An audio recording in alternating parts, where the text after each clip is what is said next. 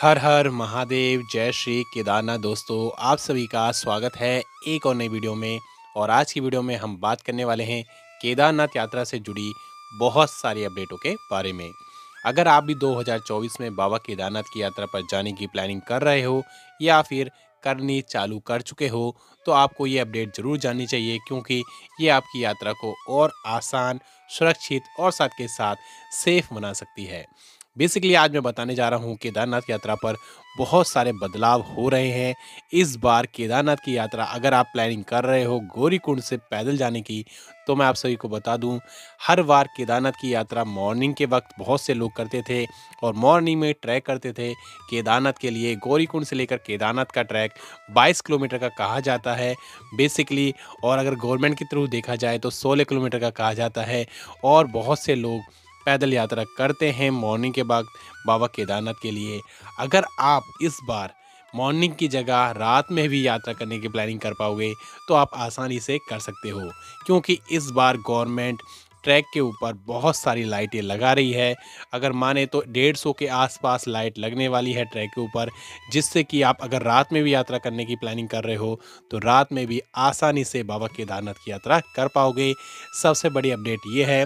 दूसरी बात मैं आप सभी को बता दूँ, बहुत से लोग जो कि केदारनाथ की यात्रा पर जाते थे, जिनकी एज ज़्यादा होती थी या फिर उन्हें फ़िज़िकल प्रॉब्लम होती थी या फिर उनकी हेल्थ इश्यू होते थे तो उन्हें मेडिकल की सुविधाएँ मिलती थी केदारनाथ के ट्रैक पर।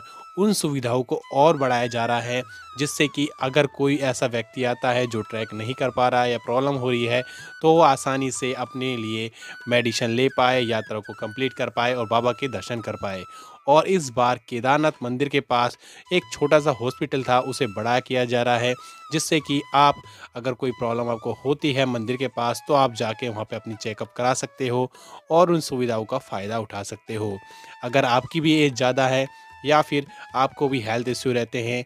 तो आपके लिए ये बहुत बड़ी अपडेट है केदारनाथ में और साथ के साथ इस बार केदारनाथ की यात्रा पर बहुत सारे शौचालय बनाए जा रहे हैं, जिससे कि अगर आप यात्रा करते हो तो उस वक्त आपको कोई प्रॉब्लम फेस ना करनी पड़े और ट्रैक को काफ़ी अच्छा किया जा रहा है, जिससे कि आप ट्रैक भी आसानी से कर पाओ केदारनाथ यात्रा का। आप सबसे बड़ी अपडेट के बारे में बात कर लेते हैं।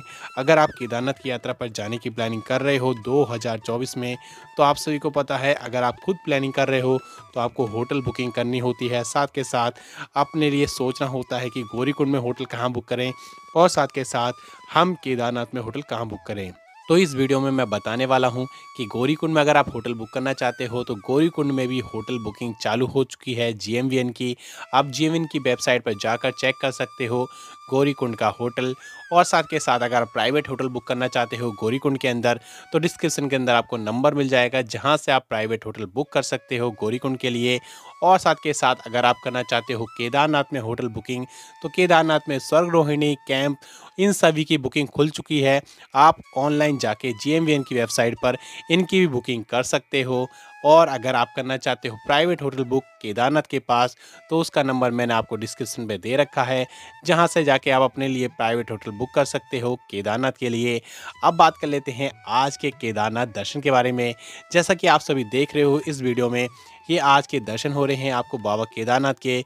आज इस तरीके का माहौल है केदारनाथ में, काफ़ी सुंदर दिख रहा है और बाबा केदारनाथ के दर्शन करने के बाद ऐसा ही लगता है कि मैं जल्द से जल्द बाबा केदारनाथ की यात्रा पर जा पाऊँ 2024 में, और बाबा के दर्शन जल्द से जल्द कर पाऊँ। आशा करता हूँ इस वीडियो के अंदर मैंने जो भी इन्फॉर्मेशन आपको दी है, वो सभी आपके काम आने वाली है और भविष्य में जो भी अपडेट आएगी केदारनाथ यात्रा से जुड़ी या चारधाम यात्रा से जुड़ी तो आप हमारे चैनल पर पा पाओगे। इसलिए इस चैनल को सब्सक्राइब ज़रूर कर लेना और साथ के साथ बेल आइकन को ऑन ज़रूर कर लेना, जिससे कि हमारी वीडियो का नोटिफिकेशन आपके पास जल्द से जल्द पहुँच पाए। बाय टेक केयर जय श्री केदारनाथ।